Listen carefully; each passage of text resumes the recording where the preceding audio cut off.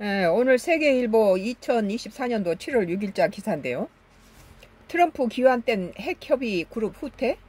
한국 핵 무장론 다시 고개 드나? 라는 기사입니다. 미국 핵안보 확대 논의 수면 위로 북한 러 밀착 행보 미국 대선 맞물려 재부상 러 기술 이전 땐 에, 북한 핵보유 수, 수준 고도화 에, 한미 북핵 대응 2023년도 핵협의 그룹 창설. 바이든 한반도 확장 억제 수준 높아. 자평. 에, 트럼프 재선 때 제도적 억제 정책 무위로. 음,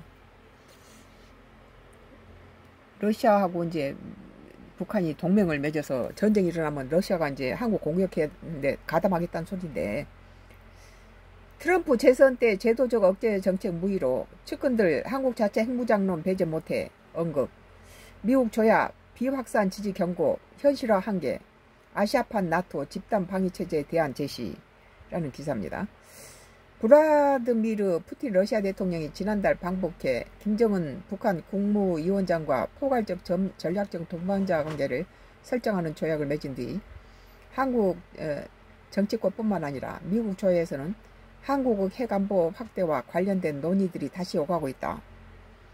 지난해 북한의 핵미사일 도발이 잇따르자 이에 대한 국민적 우려를 해소하는 방안으로 핵협의 그룹을 창설하는 워싱턴 선언을 한미 간에 체결하면서 일부 잠잠해졌던 논쟁들이다.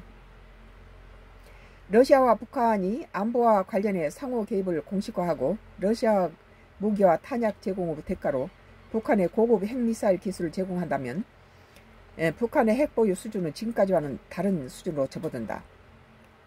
한반도 안보 문제 역시 새로운 국면으로 접어드는 셈이 된다. 이와 함께 도널드 트럼프 전 대통령의 재선은 조 바이든 행정부에서 공고화된 제도적 확장 억제를 뒤흔드는 요인이 될 수 있다. 향후 미국 대선 결과와 맞물려 한국의 핵, 핵안보의 논의가 다시 한번 요동칠 것이라는 전망이 나오는 이유이다. 지금 한반도가 위험해요.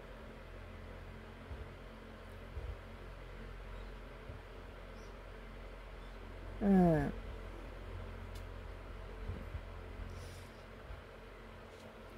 한국이 핵 능력을 자체적으로 갖는 것을 대안으로 워싱턴 조야에서는 한미 간 NCG를 유지하는 발전하는 방안 외에 집단 방위 체제에 대한 요구가 나온다.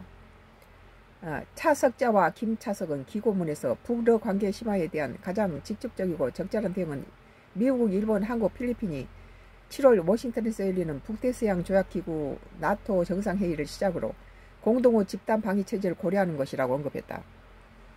그것도 나쁘진 않죠. 이른바 아시아판 나토 창설 주장이다. 이 경우 감 등에 미국의 핵무기가 배치되고 이를 아시아 동맹국들이 공유하는 나토식의 핵공유가 실현될 수 있다.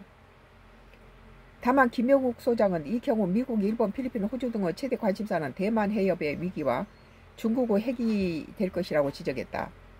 한국의 우선 관심사인 북핵과는 거리가 있다. 중국은 지금도 공공연히 아시아판 나토 창설을 경계하고 있다. 일본과의 핵 공유에 반발이 나올 수도 있다. 지난해 일본의 NG, NCG 참여 관련 보도가 나왔을 때 일본이 한국과 핵전략 기획을 공동으로 하는 데 대한 우려와 반감이 국내 정치권과 외교가에서 제기된 바 있다. 어, 나의 에, 정치적 코멘트는 어,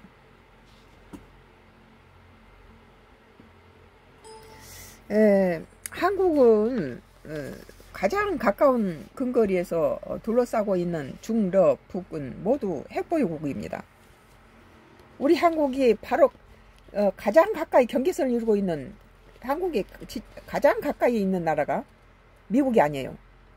중국하고 북한하고 러시아하고 같이 맞대 있어요.